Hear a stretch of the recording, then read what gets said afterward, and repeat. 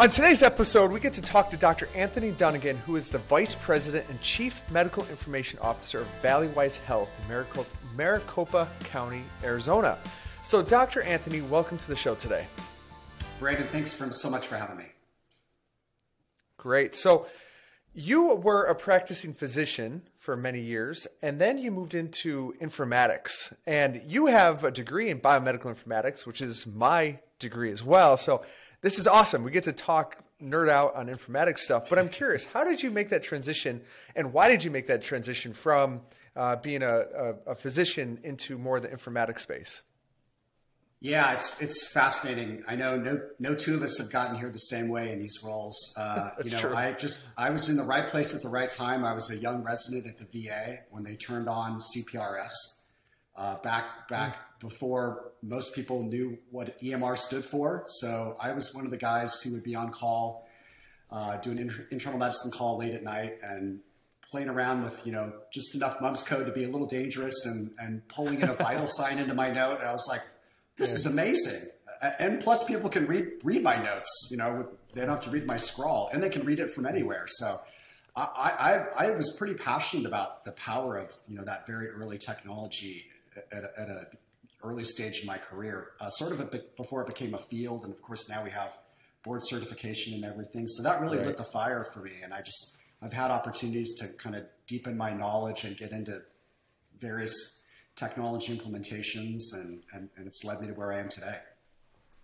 Were you already kind of a computer nerd before you started tinkering with the with mumps and uh, the the VA EMR? I would say so. I in, in, college I was a demonstrator of the Apple Newton, which if people remember that, oh, it's a it's yeah. a long ago predecessor to the iPhone. Uh, I think I sold one of them in a year and a half. but I would sit there, you know, while pe- trying to pull people in, and it had very basic handwriting recognition and things like that. Yeah. So I've always been a little bit of a geek for sure. Right, right, and that's that's uh, what it takes. Uh, the the joke is that I have a background in genetics uh, and then you know, informatics, and so the joke is I'm both a geek and a nerd, and that's uh, I think that a lot of us in informatics can say that as well. I can appreciate so, that. Right now, do you still see patients today, or are you truly focused on the IT side of things?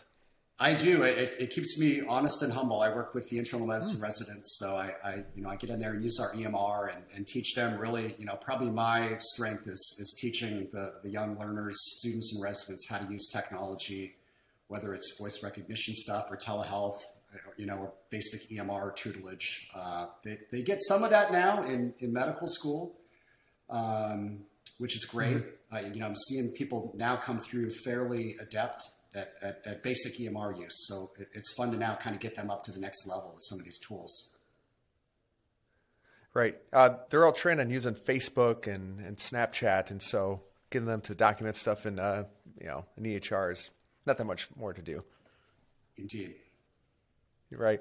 So, um, what is what are some of the biggest challenges you face uh, as a chief medical information officer with regards to managing data or connecting with patients uh, that that you you struggle and, and and and face every day?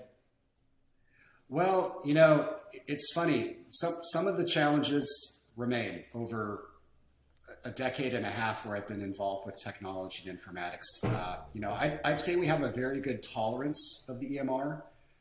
And, mm-hmm. and, and the EMR vendors have worked hard on usability. You know, I've talked to human factor engineers that, that work at some of the vendors, and you know, they're making they're trying to make it easier, reduce clicks, reduce scrolling, uh, and and I'm very thankful to that. And and and those, you know, when they roll out those upgrades, they play very well. But I'd say basic usability remains a mm-hmm. concern. Mm-hmm. You know, we've we've spun up an efficiency program.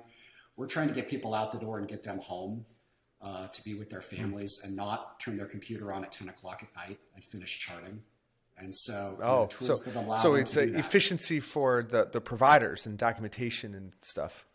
That, that remains near the top of the list. You know, if you look at physician oh. burnout, which is of course a, a, huge problem and has only intensified during the pandemic, uh, you know, three of the four top causes of burnout are technology related. So we try to address those Tell us a little bit about Valleywise Health and, and the patients uh, and the population that you care for. The valley's huge. So if, if, you've been to Phoenix and Maricopa County, you know it's an hour across the valley right. in any direction. So uh, we've got a very diverse population. As a safety net system, we we essentially take all comers. Uh, Medicaid is a large book of our business. I'd say upwards to sixty percent. We have a lot of patients that that are that are cash paying without insurance. Mm-hmm. Uh, you know, a smaller book of business of Medicare and private insurance. A, a very diverse population. Um, many, many, many patients whose first language is not English. Uh, we have a lot of refugees oh. in the valley. Hmm. So um, it, it's it, it, it's it's an amazing environment. It, you know, it's an incredible mission. It's a great teaching hospital. Uh, you know, I've I've been passionate for years about getting technology in the hands of patients, even with all those caveats, right? So things like the the patient portal, the personal health record, right? Uh, and this was another one. And I, you know, in those first days where we were spinning this up, we were very cognizant of, of how are our patients going to use this technology? How are we going to make it work for them? It's got to be simple. It's got to be simple for the providers too, mm-hmm. on both ends. And you know, there's obviously going to have to be some facilitation and, and warm communication there. Right. So let's talk about your uh, involvement uh, and introduction to telehealth. Had you been doing telehealth previous to COVID, or is this something that, that came more recent for you? Yeah, we had been discussing telehealth for years. We mm. certainly, as, as, a county safety net health system, and you know, other parts of Arizona are massive without specialty care. So the, the benefits of telehealth right. in the state are are huge. Uh, up north, um, in northern Arizona, uh, the Flagstaff area, which is actually the second largest county in the U.S. by land. Uh, they've been doing. They've been a leader in telehealth for 20 years. So we've been we've been trying to get this off the ground. I think probably, you know, our early thinking was it was it was a fairly heavy-handed, you know, heavy technology play. We were, we've been trying to f- figure out the middleware piece. You know, how do you connect one system to another? And so we'd had a lot of those conversations for years and years uh, and had been working to spin up some pilots, and, and I'd say we were sort of dabbling in it. Right. Uh, and then and then COVID hit, and that's what really prompted you to all right. We got to really figure this out and do something. What, what was that experience like? Uh, I've never seen anything like it in my entire career. It, it literally changed overnight. The, the, everything changed. Uh, in fact, I'll never forget. It was it was March seventeenth, twenty twenty. It was St. Patrick's Day when uh, the the Office of Civil Rights sent out that now infamous memo, basically saying, "Hey, you you can use telehealth. You can use just about anything. Yeah, you can FaceTime. You can Skype, Facebook Messenger." And just whatever, all just do it. Whatever you have. Yeah. There was there were a few things yeah. they actually specified you shouldn't use, like TikTok. They actually called that right, out. Right. Um, but you know, it was pretty much all fair game, and you were going to get full per diem yeah. for a, for a typical you know E and M level office visit, and and that literally changed. You know, the the business rules changing overnight really lit the whole thing on fire. In that same memo, there were a, a short list of sort of semi-sanctioned applications. Doxy, of course, was one of them. Right, um, right. And so that that you know, within I'd say a matter of four to six hours that day, we had we had a shell of a pilot in place. Oh, that's amazing, and and that, that's a big thing because a lot of the hesitation pre-COVID was uh, it's just complicated to use. Got to make sure stuff is HIPAA compliant, but also we're going to do all this work and, and have this huge capital investment to have this expensive telemedicine system, and then we're not even sure we're going to get paid for it. So there's just high levels of, of entry, little uh, amount of rewards for a lot of the larger health systems, and overnight that that flipped like this. Easier to get in, just do whatever you can use, and you will get paid for it. And now the, the economics of it completely changed overnight. That's exactly right. I always think of it as a three-legged stool: um, technology, operations, and business. We had most, if not all, of the technology. Um, right. The, the business rules, as you say, were very cumbersome, convoluted, hard to understand. There's various codes. Some of the codes were open, some weren't. You know, Medicare, Medicaid, private payers all had a different take. And then, honestly, we didn't have a huge operational pull. Uh, there was a lot of interest uh, and and sort of some pet projects, I'd say. But uh, suddenly, overnight, you know, the business side became dramatically simplified, uh, and we had a huge operational pull. You know, those first 24 to 48 hours, we had a desperate need to deliver care to people in their homes, keep keep people with chronic conditions but but well out of the system, and have that right. capacity for patients that had symptoms out there and, were concerned about COVID. So it was really an immediate congruence of those three things. So, as you were rolling out telemedicine to your organization, what was that experience like? Yeah, those first few days, we got a few people doing pilots of the platform. Mm-hmm. Uh, I tried to pick people in various spaces, uh, some ambulatory docs, primary care, specialty care. Uh, we looked at a few use cases on the inpatient side, and the, ex- the experience was incredibly positive. And in fact, it, it, it's one of those rare times in my career where word of mouth was so strong that, that we mm-hmm. had people asking why I didn't include them in the pilot. 48 hours after you know getting a few yeah. people in. So yeah, um, and I think it was smart to bring uh, to have a various set of folks, uh, you know, family doc, internal med, hmm. pediatrician, OB clinic, uh, some of the surgical subspecialties. So uh, I. I think of that 16% principle. You've probably heard that. If you can get 16% of folks engaged in something and, and to buy in, you'll sort of get that inflection curve going in the right way. Uh, so it, the ramp up was incredible. Uh, mm-hmm. I, have got a graph of it. It's I've never seen anything like it in my career. I mean, and you know, to think a year and a half later, going from zero to 250,000 visits.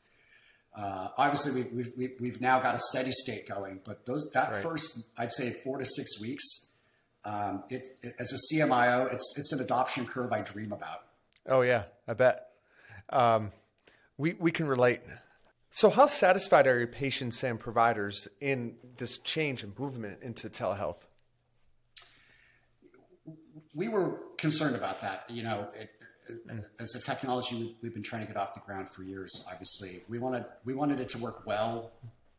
Ideally, on day one, or certainly the first few months, uh, we actually did a very early survey back when we were utilizing the free version of Doxy uh, so this was April of 2020. So we surveyed patients and we surveyed providers with the help of our marketing department. And even even using the free version, a lot of providers were still using their own phones. The patients were using whatever they had at their initial disposal in their homes. The satisfaction was very high. And one of the questions we oh, love awesome. to ask is if when the pandemic ends, would you like to continue using this technology? And mm-hmm. it was like 90% Yes. I mean, again, awesome. I, just numbers I don't see.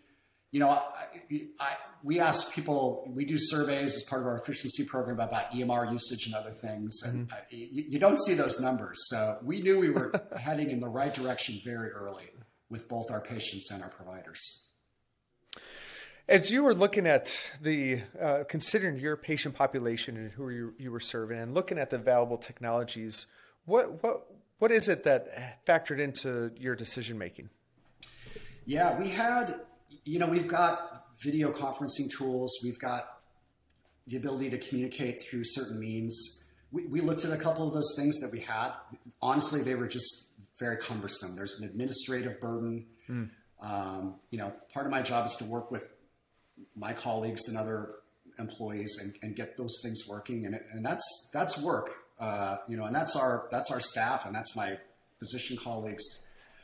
So we we gave that a fairly quick thumbs down. We we really started looking for a technology that was going to be very simple to use, very intuitive, that would need very little training, uh, highly scalable, that it you know took almost no thinking to get off the ground. And, right. and, and, so we started looking at a few of those technologies. And of course, we looked at Doxy and, and, and it sort of checked all the boxes. Uh, and that's mm-hmm. Uh, that, that principle, that concept has remained very true today uh, as, as, as we've iterated things and gotten more strategic, kind of coming out of the tactical place into a more strategic place. Right. That principle is still as important today as it was back in March of 2020. And, it sounds like simplicity is a is an underlying thread through uh, everything you're looking at. So when you're looking at EHRs, how do we simplify that? And you appreciate and you value that usability aspect. That was a decision factor in your telemedicine app. It sounds like those are the things that um, that you are uh, that that are important to you that you value the most? Absolutely. You know, you think how complicated the EMR is, right? I mean, it's uh, mm-hmm. a common analogy is the cockpit of a 747. And, and, in the past, right. we, we've looked at, you know, how do we how do you bring in middleware and integrate it into the EMR? And there's of course, you know, ways you can do that, and there's apps out there and all that. With the time we had, we we we didn't worry about any of that. So we we brought along a, a platform to stand alongside the EMR. We didn't touch anything in the EMR. The, the documentation, the mm-hmm. scheduling, all the billing components, we left that as is and stood this up right alongside it. Uh, and and I, I, think that really allowed us to, to get this going quickly and scale very rapidly, to be honest. What are some of the challenges in usability that you and your organization are facing today that you're looking to, to fix or address or to simplify even more? Yeah, I, th- I think of that on two fronts. So the uh, uh, on the healthcare side, um, mm-hmm. there's there's so much technology in play. It's not just the EMR, right? We've got there's phone tools and mm-hmm. Uh, other business applications. So I think, and it's perfect for somebody who manages a team of informaticians, right? It's I don't think we've ever better understood informatics like we do today. Uh, you know, when my parents asked me, "So what? What the heck is this informatics thing you do?" I think people get it now, right? It's it's it's pairing yeah, yeah, yeah. technology with workflows and just making things flow right. In a way where you don't have to have five neurons fire to make something work. You can you can dedicate that brain power to healthcare.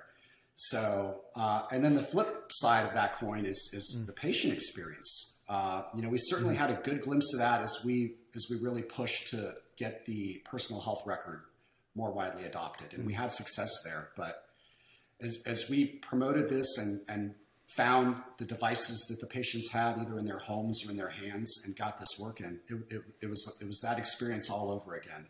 Uh, and you hear the term digital divide, right? So we're very cognizant of, of what our patients have, what their bandwidth is, what their technical maturity and capabilities are, and we really cater to that. And, and it's a wide spectrum. I mean, I'm often surprised. We've got homeless patients that are very savvy with smartphones. yeah. Uh, so I, right, we try right. not to make any assumptions, uh, you know, when people come in the door or when we're talking to them on the phone. I'd like to like dive in a little bit more on this. So, what are some of the what are the patient challenges that you've seen in rolling out telemedicine and other technologies to patients? You know, it's I think back to when we first started buying airline tickets online, or you'd go up to a kiosk, mm. and uh, you remember the first couple times you're like, I just don't trust this thing. I'm going to go up to the gate and talk to somebody. And then there was yeah. a day where the person at the gate said, you know, this would be a lot easier for you if you just use this kiosk over here or did it online. yeah. I, yeah. I, think that's where we're at with telehealth, right? So this, it's it's really getting okay. through those first couple visits, and it's not just on the patient side; it's on the provider side too. So I told all of my colleagues, and and I still do, like you know, look, get, just get this thing up and running. You've got a lot of people here to help facilitate the experience. By the time you're two or three calls in, you'll be a pro. And, and by and large, it's true. You know, once you, once you get the camera working and you get the settings configured right, uh, it, you know, people are just rocking it both providers yeah. and patients. So, but we, you had to get through those first. Uh, I, I, call it faith, right? Once you once you believe it'll work and you can rely on it, now now we're off and running. So. Right, right. Yeah, you, got to take that leap of faith, and once you show that you can do it, like, all right, I got yeah, this. And it actually does work. wow, this is great. yeah, yeah. And and how do you see the attitudes towards telemedicine and technology change as doctors and patients get more used to this? you know, it was it was part of that perfect storm because there was such a pull, mm. and, and and and people were, you know, quite frankly, desperate to get these tech, to get this technology working right away, uh, and and and to have it work and and be, you know, mm-hmm. everything I hoped it would be efficient and easy, and and uh, you know, on both sides, you know, you have these one to two weeks in, we have these rich stories about you know providers looking into the homes of family members, and they're looking into what's in their fridges and meeting family members. Yeah. Um, so yeah. so the, the, satisfaction was huge early, and so we've really just tried to leverage all that. So uh, you know the work over the last year and a half has been largely you know how do we take advantage of this? We know it's never going away. Um, how do we continue to, to be better telefacilitators? How do we leverage telehealth and coordinate that more tightly with in-person care. You know, there's things you need mm-hmm. to come in for. You need to come in for shots and certain cancer screenings right, and right. pick up your meds and get your labs done. So what's the right balance there? And that differs across every service line. Um, but we, we've we've really rode that early wave of satisfaction to get to a, a, a pretty savvy place now, which just is remarkable.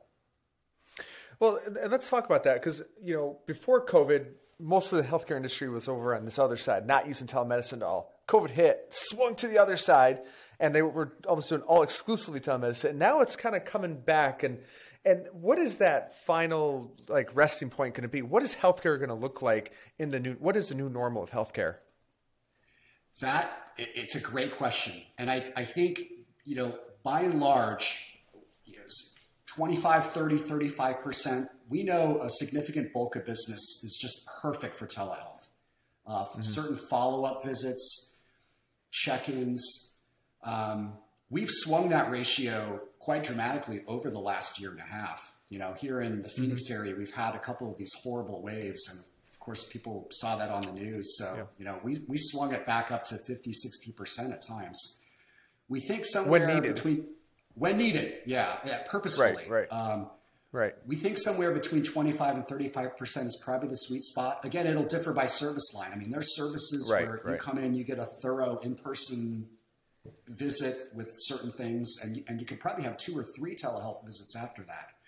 So a lot of our mm-hmm. strategic work uh, that's ongoing is, is to really find that sweet spot. Mm-hmm. What are some of the challenges that you foresee in the future uh, in adapting to this new normal that still need to be overcome and addressed? Yeah, um, I'll tell you, we're aware that screening screening rates are down, immunization rates are down. So mm. we talked about trying to find uh, the ideal way to connect telehealth and in-person care.